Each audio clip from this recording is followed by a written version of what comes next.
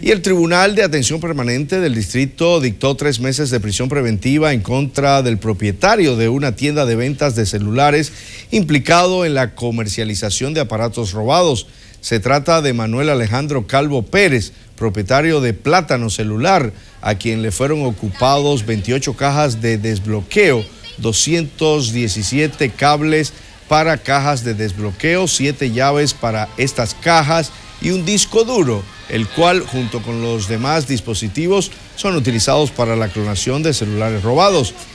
Todos estos aparatos fueron decomisados en un allanamiento hecho por la Procuraduría Especializada contra los Crímenes y Delitos de Alta Tecnología en la Plaza Comercial Plátano Celular, ubicada en la Avenida Duarte número 47 en el sector de Villa Francisca.